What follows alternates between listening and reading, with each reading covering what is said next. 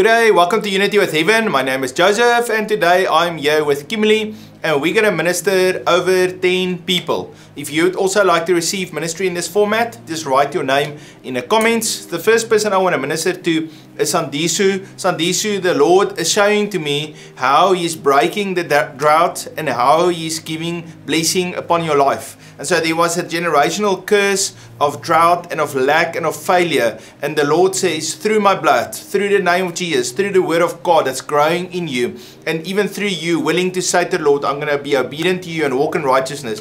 I see how the Lord breaks those curses and how you He sets you as a pioneer in your family to be, begin a cycle of blessing, a cycle of position and authority, and a cycle of joy. God bless you, Sandisu. Amen. Let's Thanks for this for Lizette. Lizette, the Lord shows me how, how your response is, is going to change, how, how your heart posture is going to, to change, how you react to something. The Lord shows me how He's going to help you to respond in, in, in a way that is in a way that is like most effective but most most godly way and i just see how you are into your everyday life taking what the Lord has taught you. The Lord says, apply my word, apply my word, apply my word, and see how it just starts to manifest in your life and in your family's life. That they start to apply it as well because you are an example. Be blessed. Okay, Lizette, uh, the Lord loves you. Uh, the Lord is just bringing a separation between your past and even people of the past. And I just see a curtain being uh, uh, uh brought in between and how you just stay this side of the curtain and that's the, the new side, the front side, the side of the, the, the new thing that God is doing in your life. God bless you, Lizette. Okay, Kaylin. Okay, uh, Kaylin, what the Lord is showing to me is how He is raising you up as a leader in a church, how He's putting an anointing on you, and I see you ministering to young people, uh, but also then to the whole church, how the prophetic flow of God comes out of you, how there's anointing for healing, and I felt that the Lord says 50% teaching, 50% word and motivation, and then 50%, the other 50% is flowing with the anointing of God. And the Lord says, people are going to know you because they're going to say, that's the anointed of the Lord. Look at that one. They put their hands on the sick and they recover. I've been prayed by that one. I've been prophesied to by that one. And that's where the anointing flow. And the Lord says, I've called you to be a vessel for my anointing to flow out of you. God bless you. Amen. This next word is for Anthony. Anthony, the Lord shows me how, how just going to be massive increase in your life. And the Lord um, says, don't worry about how it looks like. If it doesn't look like how you think it is, or it's not coming from the source that you thought it was going to come, have patience and have faith in the Lord that that increase will come and it will be in the right place at the right time, right when you need it, and coming from the right source. So the Lord shows me how don't set your expectation on where it's coming from or how much it's going to be the increase in, in whatever place. Set your mind on what the Lord wants and, and even just, just, just set your eyes on Him in general and just see how it just starts to overflow into your life. Be blessed. Okay, awesome. Uh, Anthony, God bless you. Uh, Anthony, there is a strong kingly anointing on your life. And so just rise up.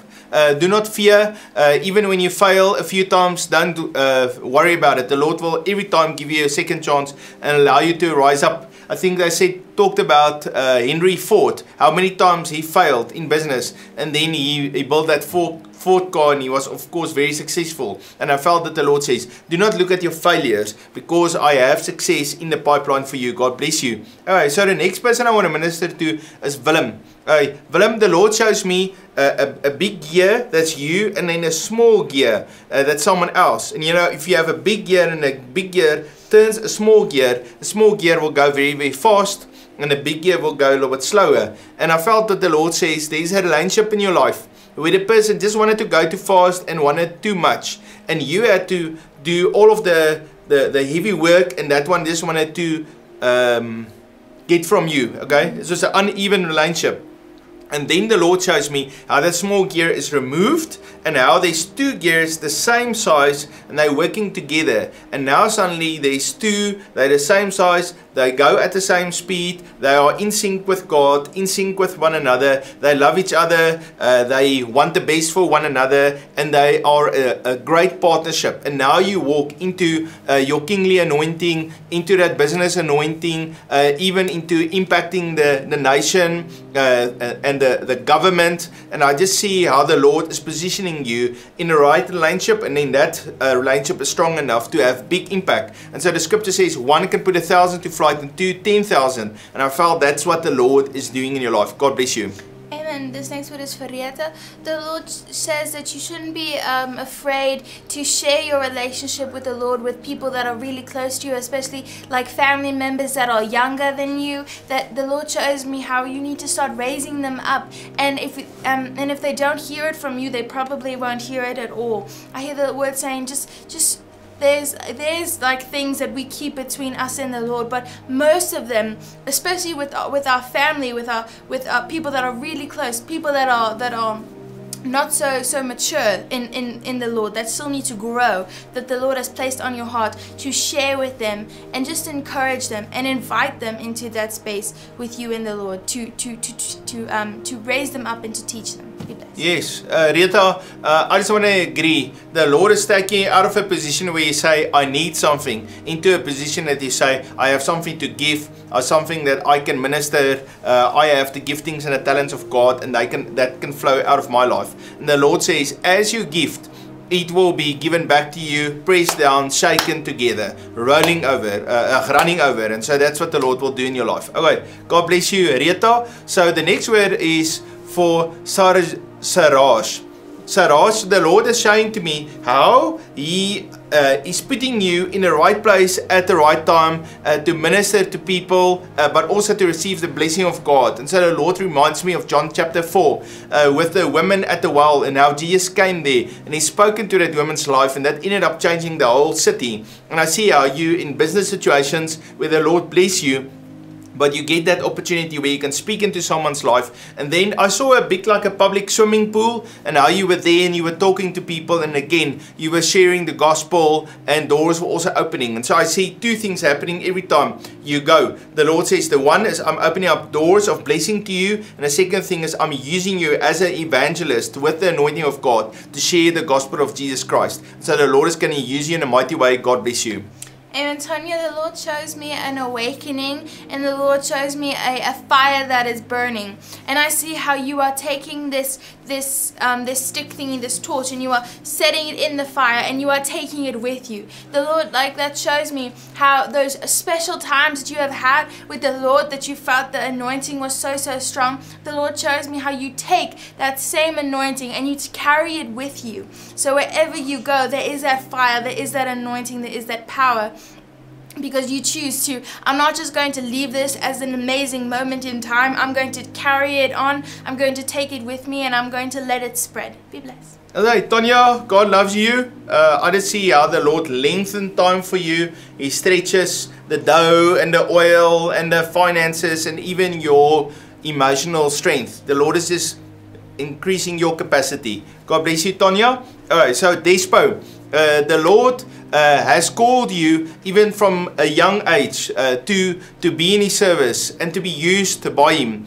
Uh, and the lord showed me just like uh, david when he was a young shepherd how he killed the lion and the bear. And so the lord says you have had big victories and overcomings in your life. Uh, but the lord says now it's time to face goliath and not only bring a change to your family but to bring the blessing of god even to your city and to the people around you. And so the words that you're going to speak is going to have an effect on many people. And the Lord is giving you authority is giving you an anointing and a, in, and a position to function. And you know when David overcame Goliath his family didn't have a quarrel with Goliath. It was the nation of Israel. But he still was able uh, to step onto that that national stage killed Goliath and then one day he became king. And I just felt that the Lord is also opening up a platform for you where you're going to step step onto a national stage and now the Lord is going to open up doors for you. God bless you. Amen. Thanks for this for Marta. Marta, the Lord shows me how you are building a house and and and I hear that I what, uh, sorry, I hear the Lord saying that He wants you to build Him